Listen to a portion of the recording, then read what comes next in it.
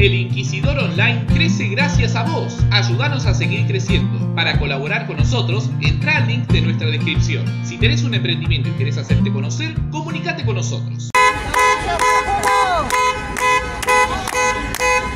Nos encontramos en la esquina de Mitre Hernández, esto es en el límite de Quilmes, lugar donde desde las 5 de la tarde de este día viernes 31 de mayo se está desarrollando una protesta vecinal en reclamo de mayores medidas de seguridad teniendo en cuenta el crecimiento exponencial de la ola delictiva aquí en estos barrios mencionados.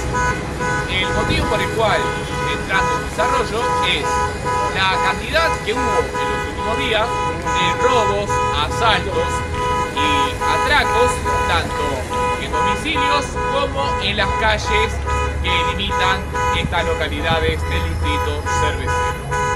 Por este motivo, fue innecesaria la convocatoria de una veintena de vecinos que, hartos de sufrir hechos delictivos, decidieron congregarse aquí, en el cruce mencionado.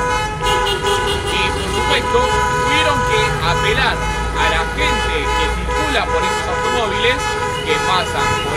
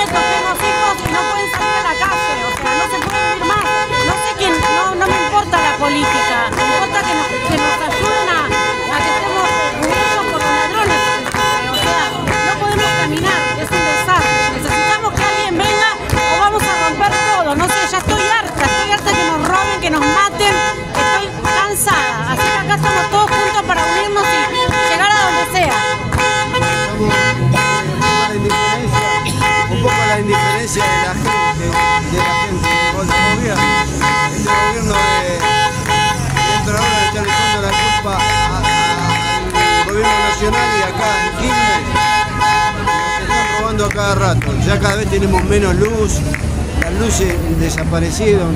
Eh, los chicos acá en el Pacheri, para hacer tres cuadras tienen que tomarse un remis porque si no les roban a las 2 de la tarde.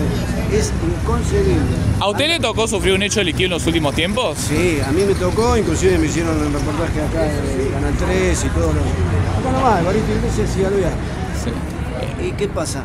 La gente está cansada. A las 2 de la tarde, un moto quisieron robar una, una vecina, otro salió a, correrlo y los tipos, como si nada, entran y salen, los mismos están ahí.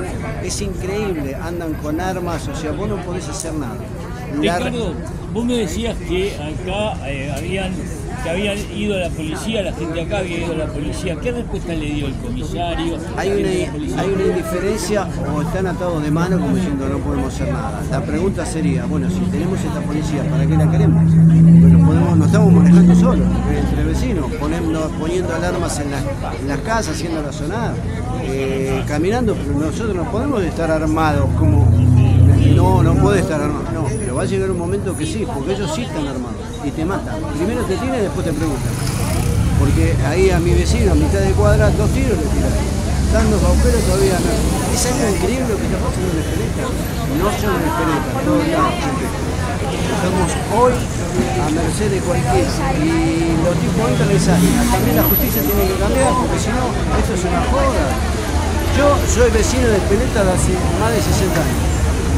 Y te digo la verdad, nunca pasó. Vos que tenés más o menos de edad, vos sabés qué pasaba. Cuando había más seguridad porque había presencia. Hoy no hay ni presencia, vos no ves a nadie. Y si lo ves, no lo respetan. Porque lo- los mismos chorros se matan. Tenemos que parar con. No, no- no puede ser que nos pase. No puede ser, tenemos que pararlo. Todo el mundo lo tenemos que dejar de ser indiferentes. Hay vecinos que dicen que, bueno, que el gran problema son los barrios de más allá de Sola. que Ustedes tienen más o menos identificado, saben quién es la gente Mirá, que los roba. esto como, eh, viste como te dice el, el jardinero, vos sabés dónde están los chorros. Andate a los álamos, andate allá abajo, al este que mataron de cuchillada ahí abajo.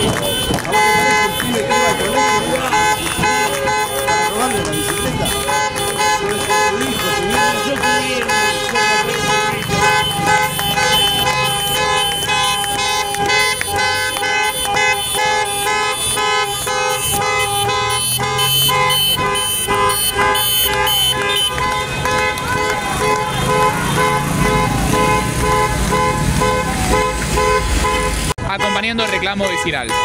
Sí, por supuesto, no solo como concejal, sino también como vecina. Hace muchos años que padecemos la inseguridad en Quilmes, no hay gobierno local que haya podido dar respuesta todavía, ni mucho menos gobierno provincial que lo haya hecho, así que por supuesto que donde los vecinos reclamen por seguridad, estuve siempre y voy a seguir estando.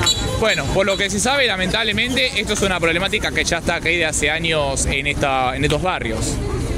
Sí, toda la vida. Quilmes toda la vida fue inseguro y como te digo, ningún gobierno local supo dar respuesta. Se ha acrecentado la inseguridad, pero en los últimos años terriblemente. ¿Qué es lo que espera directamente de su espacio político para poder ayudar a, a fortalecer herramientas para que mejorar la seguridad de los vecinos aquí de Quilmes? Nosotros estamos dando la batalla cultural, una batalla cultural muy clara. Nos importa defender los derechos humanos y la vida de los ciudadanos de bien el que, el, que las hace las tiene que pagar. Nosotros hemos propuesto incluso bajar la edad de imputabilidad porque hace ya muchos años que el crimen está en manos de los menores de edad porque no pagan ningún tipo de consecuencias.